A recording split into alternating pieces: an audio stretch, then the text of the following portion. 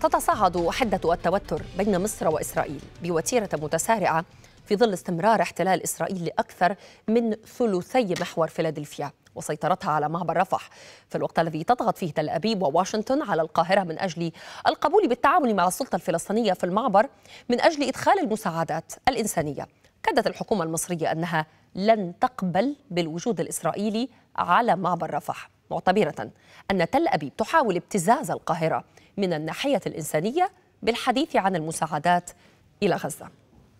من جهته قال وزير الدفاع المصري محمد زكي إن الموقف الحالي يتم التعامل معه بأقصى درجات الحكمة لدعم القضية الفلسطينية ومساندة الفلسطينيين على أساس حل الدولتين. وزير الدفاع أكد على أن الجيش المصري قادر على مجابهة أي تحديات تفرض عليه وأن الدولة المصرية لديها ثوابت لا تحيد عنها ولا تنحاز إلا لمصلحة أمنها القومي. هذه تصريحات وزير الدفاع المصري اليوم. ينضم إلينا في هذا الحوار من القدس الكاتب والباحث السياسي السيد شلومو غانور وأرحب بضيفي من القاهرة الكاتب الصحفي السيد محمد أبو الفضل. أهلا بكما. دعني أبدأ بسيد شلومو غانور ضيفي من القدس. سيد شلومو لا نسمع كل يوم تصريحات من وزير الدفاع المصري. لكن عندما يخرج وزير الدفاع ويقول بأنه مصر قادرة وأنها تضع امنها القومي أولوية بالتأكيد ليس هذا التصريح لا ينبغي أن يمر مرور الكرام. أنتم في الداخل الإسرائيلي كيف ترصدون هذه التلويحات المصرية؟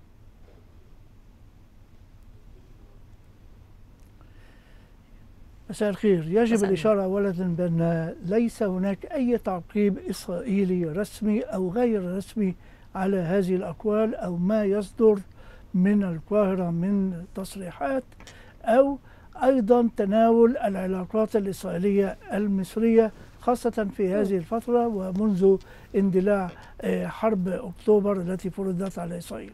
ولذلك يجب أخذ كل ما يقال بحذر.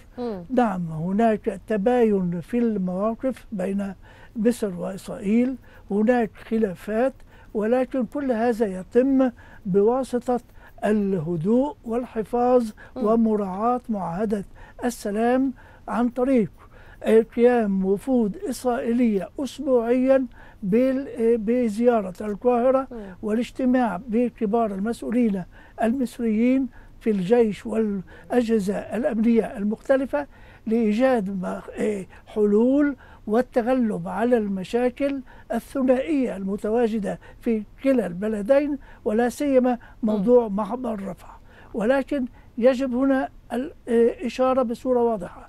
البلدين يحافظان على معاهدة السلام بدقة وأن إسرائيل منذ حرب منذ شهر أكتوبر لم تخرق بندا واحدا من معاهدة السلام أو ملاحقة لذلك يجب الإشارة هنا بأن الطرفين يحافظان على المصالح الاستراتيجية ويفهمان طيب. واحد الضائقة التي يعاني منها الطرف الآخر وإمكانية حل هذه القضايا بالطرق السلمية طيب. وأعتقد بأن أقوال وزير الخارجية المصري هي أكبر دليل على م. ذلك حيث أشار بأن معاهدة السلام هي ركن هام في العلاقات الإسرائيلية المصرية وأنها هي الضمان لحلول الاستقرار طيب. في الشرق سأعود إليك سيد أعتقد بأن هذا نعم. هو أكبر ضمان لهذه المعاهدة أه سيد محمد أبو الفضل ماذا قرأت في تصريحات وزير الدفاع ويعني كما ذكرت لا نستمع إلى هذه التصريحات كل يوم، لا يخرج وزير الدفاع للحديث كل يوم و يعني التحدث عن الأمن القومي المصري والتحديات التي تستطيع مصر مجابهتها. ما الذي أراد وزير الدفاع المصري قوله في طيات هذه التصريحات؟ أعتقد يعني هو في السياق المصري العام اللي هو يستخدم الأداتين الأداء السلام الحفاظ على السلام كخيار استراتيجي بالنسبة للدولة المصرية لكن يبدو أن الاستفزازات الإسرائيلية من حين لآخر في المنطقة بحاجة إلى تأكيد من قبل القيادة العسكرية المصرية حول تأكيد الثوابت المصرية فيما يتعلق بالحفاظ على الأمن القومي المصري. أعتقد أن اللغة التي تحدث بها وزير الدفاع هي لغة كما وصفها حكيمة تتعلق بوضع الضوابط المعينة فيما يتعلق بما يجري في هذه المنطقة الحساسة. الجيش المصري معتاد من حين لآخر يجري مناورات، معتادة قيادته أن ترسل رسائل إلى من يعنيهم الأمر بأن الجيش المصري على جاهزية عالية جدا ومستعد لكل الاحتمالات بما فيها لا قدر الله الخيار العسكري. الصبر الاستراتيجي المصري الذي كانت تتعامل به مع أحداث غزة يبدو أن هناك نوع من أنواع التغير أو التحول في هذه لكن في هذه تجاوزت إسرائيل النقطة هناك بالفعل. رسالة برسالة يعني بحسب بحسب الكثيرين إسرائيل تجاوزت في حق. مصر ومصر كانت لوحت أكثر من مرة بأنها وبالتالي لن هنا- تسمح هنا- بالتجاوز الإسرائيلي التجاوز الإسرائيلي. حتى هذه اللحظة يعمل حسابات آه، كبيرة جدا للموقف المصري ولا يريد أن يصل الغضب المصري إلى أقصى مدى. هناك واحدة من الدول الكبرى وهي الولايات المتحدة هي ضامنة أساسية لمسألة الصمود واستمرار السلام بين مصر وإسرائيل. وكما قال ضيفكم إسرائيل حريصة على الحفاظ على السلام كخيار استراتيجي. ومصر أيضا وتردد ذلك على ألسنة الكثير من المسؤولين لكن هذا الخيار الاستراتيجي المتعلق بالسلام لا يعني إطلاقا عدم وجود خيارات أخرى قد تكون خشنة خاصة في ظل التمادي الإسرائيلي. من وقت لآخر على منطقة الحدود في من ناحية جهة رفح إسرائيل تقوم بعمليات محدودة نوعية حتى لا تغضب الطرف المصري. ربما تكون هذه العمليات المحدودة مرت بدرجة أولى وبدرجة ثانية وبدرجة ثانية حتى تحولت في النهاية إلى قنبلة يمكن أن تكون موقوتة. ومع ذلك تريد إسرائيل أن ترسل رسائل من حين إلى آخر للقيادة المصرية في تسمين العلاقات بينهما. ولا تريد تعكير صفوها وإن كانت عكرت صفوها بالفعل. وهناك يعني آه، تصريحات كثيرة من المسؤولين المصريين وضعت الكثير من الضوابط فيما يتعلق بطبيعة العلاقة. وهناك تلميح أو تلويح بأن هذا يؤثر على اتفاقية السلام. بأن هناك ضوابط معينة إذا خرجت عنها إسرائيل أو تمادت فيما يتعلق بتهديد الأمن القومي المصري بشكل مباشر سيكون هناك ردود قد لا ترضاها إسرائيل وقد لا ترضاها الولايات المتحدة. هل- هل- حديث نعم. إسرائيل اليوم حول إجراء إرس... نعم. اعذرني نعم. سيد محمد أبو الفضل سأعود إليك مرة أخرى سيد. شلومو هل إسرائيل بالفعل ترى هذه الخطوط الحمراء التي رسمتها مصر يعني وصلت إسرائيل إلى معبر رفح الجانب الفلسطيني من معبر رفح رفعت العلم ال- الإسرائيلي آه، عليه. آه، قامت بتقريبا احتلال جزء كبير من محور فيلادلفيا الذي حذرت مصر من احتلاله.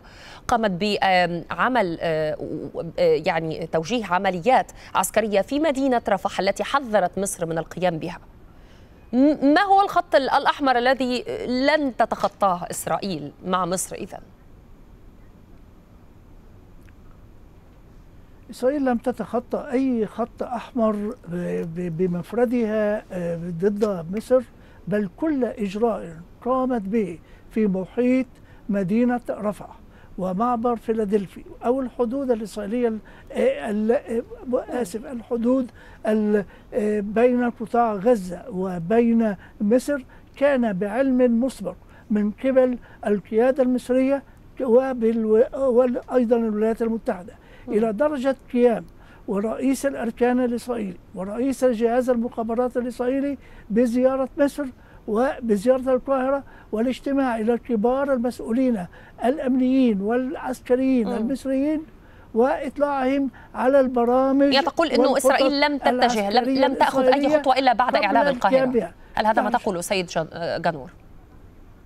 بالضبط. و- بالضبط. وأيضا اعلنت أعلمت إسرائيل القاهرة قبل القيام بالعملية في غزه في في آه، في رفح وذلك قبل حتى إطلاق آه، الطلقة الأولى.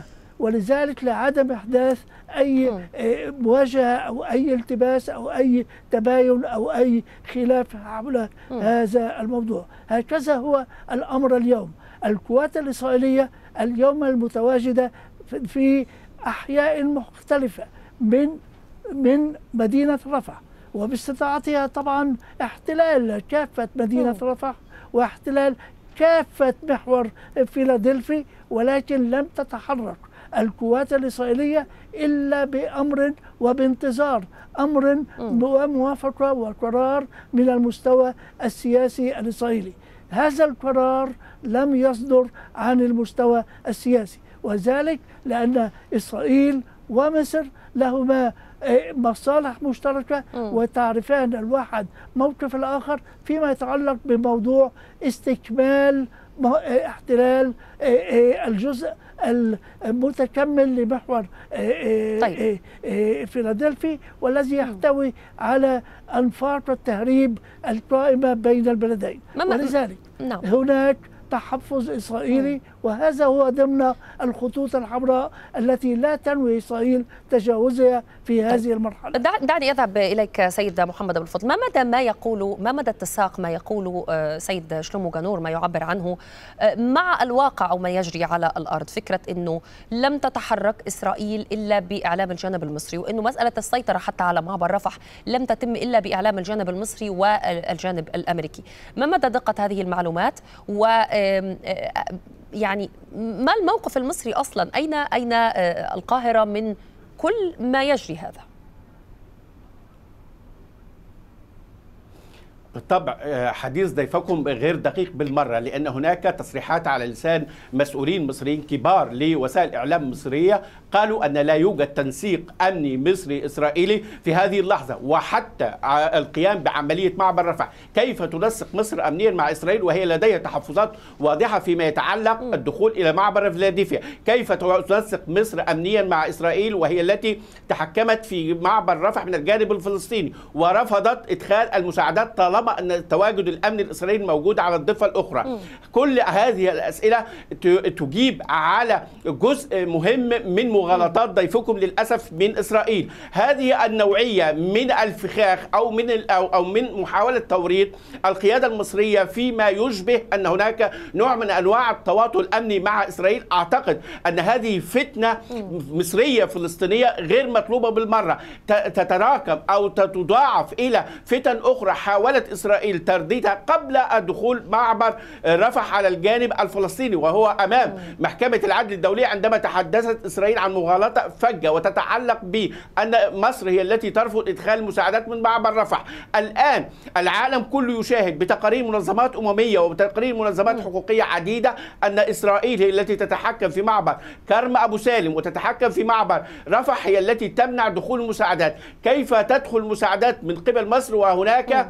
سيطرة إسرائيلية لا أحد يعلم المدى الذي المدى الزمني الذي يمكن أن تصل إليه. الاقتراح المصري حسب متابعتنا أن تكون هناك سلطة فلسطينية بصرف النظر عما إذا كانت حماس أو غيرها، لكن لابد أن تكون جهة فلسطينية حتى تيسر دخول المساعدات إلى الجانب الفلسطيني، أما أن تتحكم إسرائيل في هذه المسألة فهذا يعطي انطباعات ويرسخ آه، آه، الفخاخ التي تريد إسرائيل آه، ترويجها وهي أن مصر متواطئة أو مصر متعاونة أو هناك تنسيق أمني مصري عالي المستوى، لو هذا الكلام صحيح لما وقفت مصر ولما رددت على لسان الكثير من المسؤولين فيما يتعلق بأن هذه الجزئية غير صحيحة وكاذبة بالمرة، حتى هذه اللحظة لو هذا الكلام صحيحا لكانت مصر أدخلت المساعدات ولكانت مصر تعاملت مع نعم. الواقع الإسرائيلي حاليا على الضفة الأخرى من آه، رفح. ليس نعم. هذا كل شيء آه، واسمحوا لي سيد آه، محمد أبو الفضل والسيد شلومو آه، مصر أيضا لوحت بالانسحاب من جهود الوساطة بين إسرائيل وحركة حماس، رئيس الهيئة العامة للاستعلامات المصرية ضياء رشوان قال إن إسرائيل تشن حملة تهدف للتشكيك بالدور المصري، دعونا نتابع. هذه الحملات من الطرف الآخر. استمرار هذا التشكيك في الموقف المصري. الادعاءات الكاذبة بأن مصر قد غيرت في المستل... في المسودات الخاصة بعملية المفاوضات بين الفلسطينيين وإسرائيل على الرغم من عدم وجود أي طرف آخر حضر هذا سواء الطرف الأمريكي أو الطرف ال- القطري قال هذا فإن مصر ترى أن الاستمرار في هذا سيؤدي اولا اولا إلى تصعيد الأوضاع في المنطقة، أن مصر قد تجد نفسها مضطرة للانسحاب من هذه الوساطة التي لم تدخلها إلا بإلحاح وأؤكد. إلحاح وطلب أمريكي وإسرائيلي. وانسحاب مصر إذا حدث لا يعني أنها ستذهب بعيدا عما يحدث في المنطقة. سيد شلومو يعني تشعر مصر بأنه يتم التشكيك والإساءة لدورها في الوساطة بالنظر إلى أنها هي الوسيط الأهم بحسب ما تراه القاهرة بحسب ما يراه الكثيرون بالنسبة لإسرائيل. وبالتالي عملية أو التشكيك أو الإساءة للدور المصري ستعود سلبا ليس على مصر ولكن على إسرائيل، ما رأيك في الرد المصري على التقارير التي أشارت إلى انه مصر غيرت في أو أو يعني قامت بتغيير وعدلت في ما تم الاتفاق عليه بخصوص صفقة الرهائن؟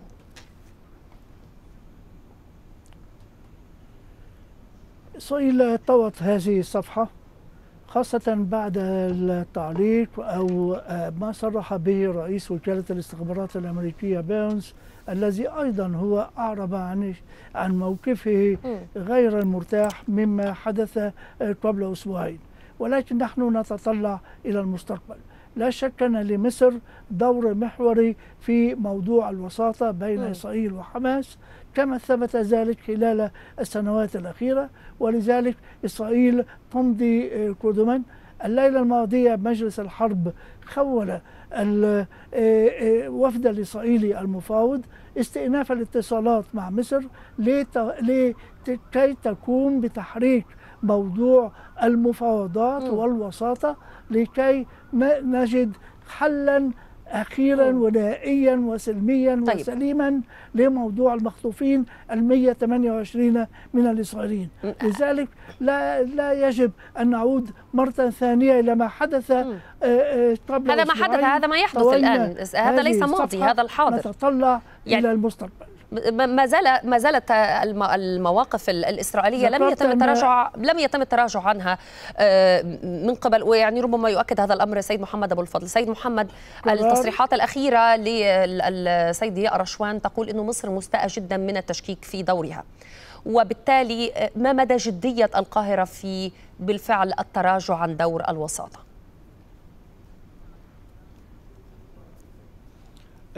كما ذكرت سابقا أن كل التصرفات المصرية هي تريد وضع النقاط على الحروف فيما يتعلق بما يتردد من أكاذيب سواء كان من الجانب الإسرائيلي أو بعض وسائل الإعلام الأمريكية. عندما تم الحديث عن تغيير في مسودة الاتفاقية أعتقد أن لم يتم إسناد المصا... إسناد الحديث إلى مصادر معلومة كما قالت البيانات المصرية. وكما ذكر السيد ضياء رشوان في هذه المسألة في حين أن ضياء رشوان مسؤول مصري رفيع وتحدث بشكل مباشر وأنكر هذه المسألة. أخشى ما اخشاه أن تكون المعلومات التي وصلت إلي صحيحة فيما يتعلق بأن التغيير المسودة حصل في حضور بيرنس وهو الذي قام بها وبخط يده. إذا إذا تم تصعيد في هذه المسألة أخشى ما اخشاه أن تتخلى مصر عن تحفظها الدبلوماسي. تقول في في, في وجود بيرنز يعني مدير ال CIA. هذا ما تقصده. هو الذي قام بالتعديل هو الذي قام بيرنز هو الذي قام بتعديل بيده إن كان هناك تعديل حقيقي. وإلا لما كانت الولايات المتحدة تصبر كل هذه المدة ولما كانت إسرائيل أرسلت وفدها مرة أخرى إذا كانت مصر وسيط غير نزيه كيف سترسل إسرائيل وفدها إلى القاهرة اليوم أو غدا؟ وكيف سيعود مرة أخرى رئيس المخابرات الأمريكية ويليام بيرنز إلى المنطقة مرة أخرى خلال الأيام المقبلة طب أخذ رد من السيد على هذه النقطة؟ وكيف تتحدث قطر الوسيط؟ طيب لو تسمح لي سأعود إليك. سيد شلومو ما ردك على هذه النقطة؟ لأنه الاتهامات الإسرائيلية على أنه مسودة الاتفاق تغيرت وأنه هذه المسودة ليست التي وافقت عليها إسرائيل وكان اتهاما واضحا. ما رأيك فيما قاله السيد محمد؟ إسرائيل لم توجه أسبوع الاتهام مباشرة ورسميا إلى مصر بل قالت بأن هذا هذه المسودة لم توافق عليها إسرائيل وأنها لم لم تكن الوثيقة التي قدمت إلى إسرائيل. هذا ما قالته إسرائيل لكنها كتبت في القاهرة. واضح. يعني ما معنى أنه عدم توجيه الاتهام إلى القاهرة؟ وهي كتبت في القاهرة. ومرة مرة ثانية إسرائيل طوت هذه الصفحة. إسرائيل تعتمد على القاهرة كوسيط. ولذلك قرر المجلس الحرب الليلة الماضية تفويض الوفد الإسرائيلي المفاوض استئناف الاتصالات مع مصر لكي تقوم مصر كوسيط لتحريك الأمر. المحاولة المتكررة للاصطياد بالمياه العكرة أو التي مضى عليها أسبوعين بالرغم من أن إسرائيل لا تريد التعليق على هذا الموضوع وقالت بأنها طوت هذه الصفحة وتتطلع إلى المستقبل. فلماذا مرة ثانية العودة تقرير إلى منشور على وسائل إعلام أمريكية يعني. عليها. هذا هذا هو الجديد هذا هو المستجد في في الموضوع أوكي. سيد شلومو. وهو الذي أدى إلى رد القاهرة. المستجد هو في قرار مجلس الحرب اعتماد الطلب من مصر استئناف مساعيها الحميدة للتوصل إلى اتفاق والإفراج عن 128 مخطوفا إسرائيليا موجودين بأيدي حماس. كيف ستضمن؟ نعم. الموقف الإسرائيلي هذه الليلة ولا اعذرني سيد شلومو سأعود إليك. سيد محمد أبو الفضل نعم تريد أنا عارفة أنك لديك تعليق وهنا أريد أيضا أن أسألك فيما قاله سيد شلومو كيف ستضمن القاهرة إذا أنه إسرائيل بهذه بما تتحدث عنه من نوايا طيبة بأنها ستترجمها إلى أفعال على أرض الواقع في حال التئام المفاوضات؟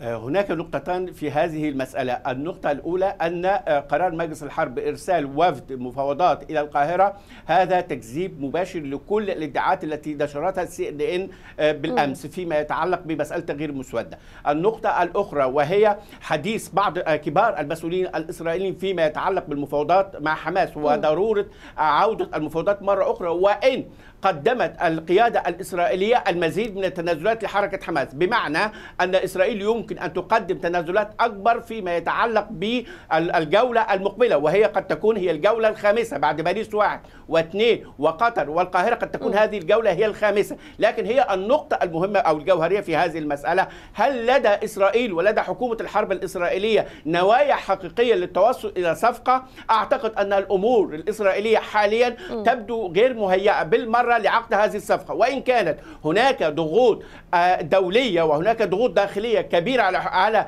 نتنياهو يريد امتصاصها أو يريد إطفائها أو يريد تحكيمها بقدر الإمكان. أنت تعلمين غدا محكمة العدل الدولية قد تتخذ قرارا تاريخيا ومصيريا فيما يتعلق بهذه الحرب. وبالتالي تريد إسرائيل أن تبدو كأنها مرنة. لكن السؤال الجوهري هل نتنياهو على استعداد لعقد هذه الصفقة؟ وربما تكون هذه الصفقة المتوقعة بشروط أكبر مما عرض على إسرائيل في الجولة السابقة. إن أرادت القاهرة سيد شلومو جانور أن تتراجع إسرائيل عن محور فيلادلفيا الذي قامت بعمليات فيه وأن تسلم إدارة معبر رفح إلى أطراف فلسطينية لكي يتم استئناف المساعدات منه مرة أخرى بينما هي تقول أو هي تلوح بانسحابها من المفاوضات. هل إسرائيل ستمنحها هذه المطالب؟ بشكل صريح. يمكن ربط موضوع المفاوضات حول حول المخطوفين بموضوع فتح معبر رفح أعتقد أن وهذا رايي هذان موضوعان مختلفان تماما. بالنسبة لمعبر رفح أعتقد بأن هذا هو موضوع موضوع لا يزال يتم حوله تتم حوله الاتصالات المختلفة بين البلدين وأيضا مع أطراف أخرى خاصة الولايات المتحدة. موضوع المساعدات الإنسانية لغزة لقطاع غزة بأكمله تتم وتصل سواء عن طريق المنافذ الإسرائيلية الجديدة التي فتحت وأيضا عبر الرصيف البحري العائم الأمريكي. كل هذا هو بمثابة ربما بديل ولكن بديل مؤقت ليس بديل نهائي لأن معبر رفح بصفته المنفذ البري الرئيس لقطاع غزة عبر الأراضي المصرية. وبالعكس هو المعبر الرئيس ولا يمكن أن تحل محله آه، نعم. آه، آه، منافذ أخرى سواء برية أو جوية أو بحرية. ذلك. ولذلك يجب إيجاد حل لهذا الموضوع وأن هذا هو موضوع يقع على عاتق مسؤولية الجانب آه، المصري بالنسبة لموضوع المفاوضات ترى مصر فأعتقد يقع على عاتق الجانب الإسرائيلي. يجب فقط لا ننتهي عند هذه النقطة ويعني ويكون هناك تضليل لل- للمشاهد. يعني إنه إنه ال- الجانب المصري يقول إنه هذا الأمر على عاتق الجانب الإسرائيلي. على كل انتهى وقتنا لهذه الفقرة. شكرا جزيلا لضيفي في هذا الحوار من القدس الكاتب والباحث السياسي السيد شلومو غانور. وأشكر أيضا ضيفي من القاهرة الكاتب الصحفي السيد محمد أبو الفضل. شكرا جزيلا لكما.